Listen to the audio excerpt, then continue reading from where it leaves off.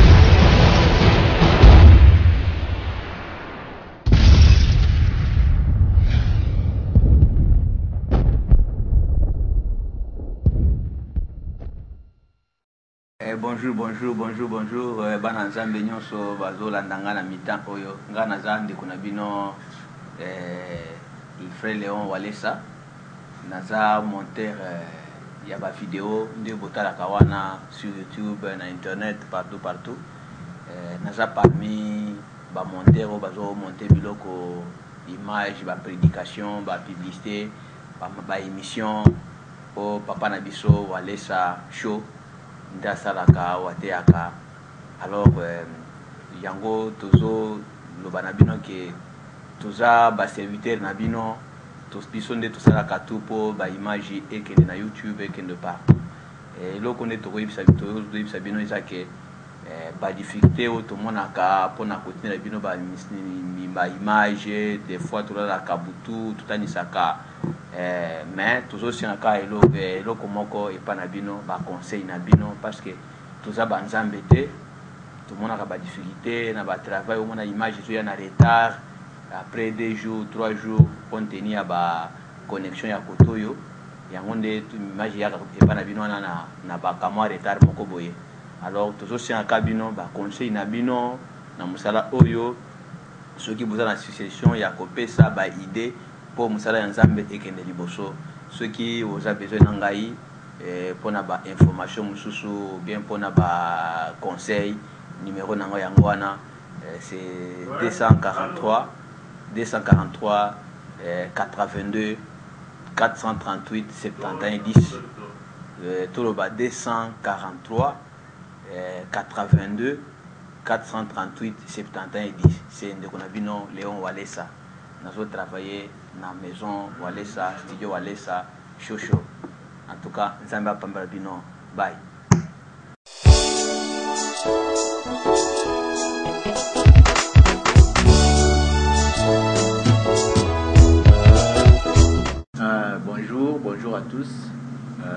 ngai nkombo na ngai asha kabengele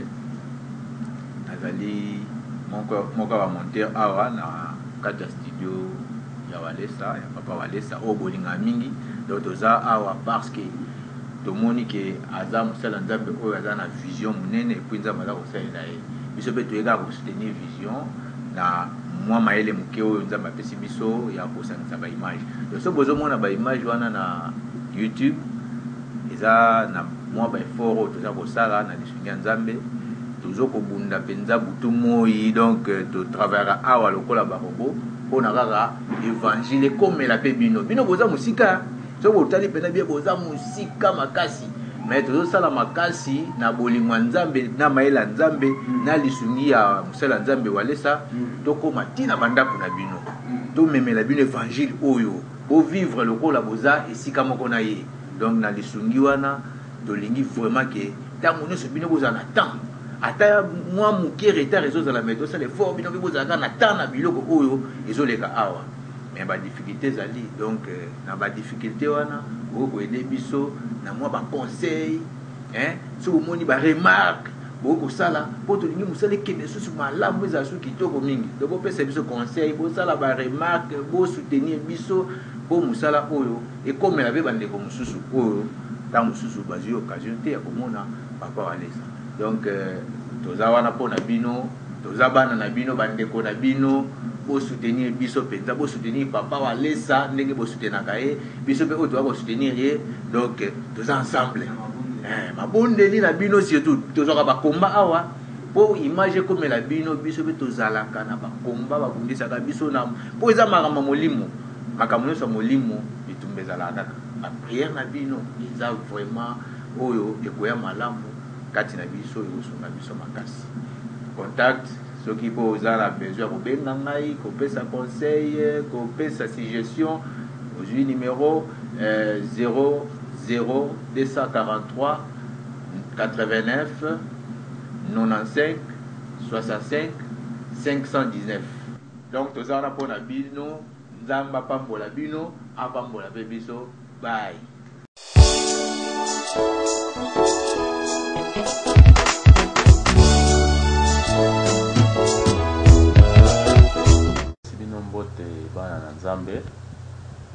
naza frère dt mukendi dt image naza cameraman eh, epai ya pasteur walesa bilili nyonso bomonaka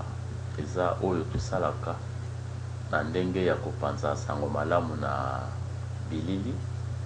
Tosepeli makasi ndenge lelo bokomona biso mpe mpe bokoyeba biso. Oyo eza oeuvre ya Nzambe, tobandi na yango lelo te. Tozwa ko accompagner Papa na mosala oyo ye azosala. Namoni oyo eza studio, nde esika ba traitements, ba makambo nyonso ekosalema. soki to filme toyaka awa tosali yango vraiment soki ba remarque ezali toko senga na bino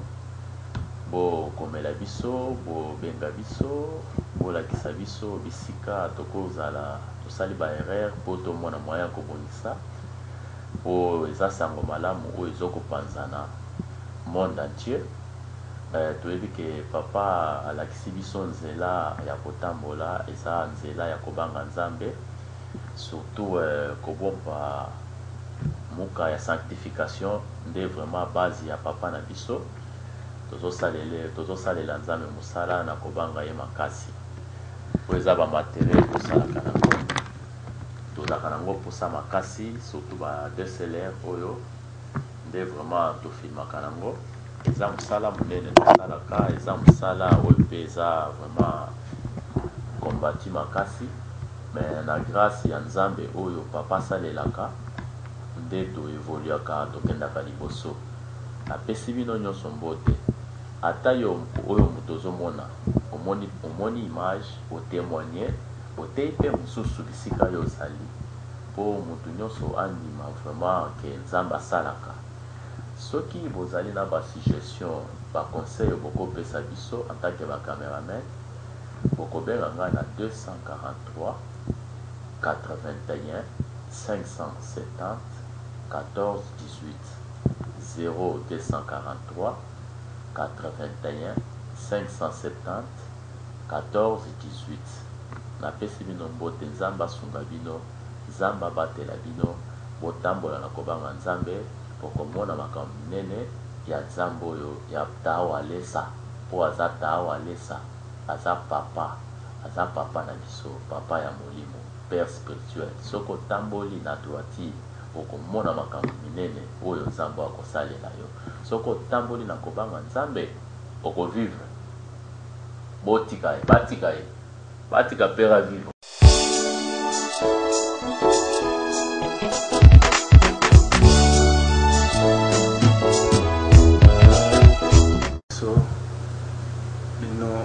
sepela kolanda radio television walesa ministry je crois ke bomonaka misala oyo esalemaka apartir ya baimage oyo totindaka ngai nazali Wa bino, kombo na ngai Marcus Kapiamba, nazali moko na kati ya ba ndeko oyo basalaka mosala oyo esalaka ke ba images ekomela bino bisika bozali. Ee, lelo biso tulingami kozala sima ba camera, naza moko na kati na bango, c'est à dire na montaka, na filmaka pe na bongisa ba machines, je crois bozo tourner na kati ya studio bozomona ba machines nionso ebele ebele eza awa, ee, eza studio. Walesa oyo musika misala nionso esalemaka pona ba image ekomela bino alors lelo tobimi na bilili pona nini pona kosenga bino pona ke koyebisa bino nanu nga moko nazali temoin vivant ya ba image oyo namonaka miracle yango ndenge esalemaka ngai moko koloba ke non batu oyo bamontaka ba image mais tofilmaka nanu de fois pourquoi papa atiaka camera liboso. Azo lobaka na moni nga landaka mingi ba critique na bino ebele ya malamu ezali pe mususu mutu azali ko loba yango mais ozo sentir que c'est pas dans un bon sens omoni ba image to pesaka bino wana okomona likambu esalemi lelo to ba sambeli pona mutu aza ata aza na mbasu image wana to bombi yango après un mois une semaine oyoki mutu wana azongi nzambe asali likambu tozui susu image ndomonaka Biloko wana au lieu to garder biso makambo tozo mona ba temoignages ezo ndela bino na ba television na ba internet po bolanda alors bosenga na nga eza nini pona lelo nde na temi awa ko yebisa bino ke nga moko nazo confirmer ke makambo esalemaka awa eza miracle ya solo parce que moi meme je suis parmi les gens oyo bazalaka tres difficile ya ko croire na makambo ya Nzambe mais nga moko na koma ko kozala convaincu na makambo oyo esalemaka po na monaka yango na miso Bino bomonaka image mais nga na monaka yango realite alors nako senga bino bolandaka ba image na biso botala yango malamu botika kaka pamba te boluka baninga mosusu oyo bamonaka yango te bosangana parce que bible elobi que cette bonne nouvelle sera prechee partout dans le monde tozali kosala lokola ba evangeliste pembeni ya wa Pasteur Walesa azali mutu na Nzambe oyo Nzambe atindi, alobi toza pembeni na ye pona kokomisela bino ba miracles oyo ezosalema, bomona yango pe botatu moyen na Nzambe. Okozala na problème moko très grave omoni que esuki pona yo, mais tala ba images wana eza ba realites, yo soki o croire na Nzambe ya Walesa okomona pe bikamwa ebele, batala kaka image ba biki. Alors nga nako senga bino boye lelo bozo mona ba materiel eza ebele ndenge bazo lakisa bino wana mais materiel ezo senga to bakisa makambo ebele to to evoluer lisusu plus avec la technologie alors nga nako senga bino toza na posa na nunu na ba suggestion na bino ba remarque oyo boko sala bo bo revoir makambo nyonso bozo sala botala nunu qu'est ce que nous pouvons ajouter comme ba idée par rapport ya mosala baninga basalaka Alors bino botali ndenge tosala musala botali ba image na biso bopesi biso ba critique tozalaka na ba numero yanga numero ezali 0024389884718